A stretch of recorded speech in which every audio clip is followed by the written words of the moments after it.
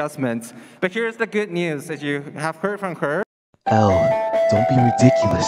There's no way they would add rollback netcode. We have decided to implement rollback netcode to Dragon Ball FighterZ.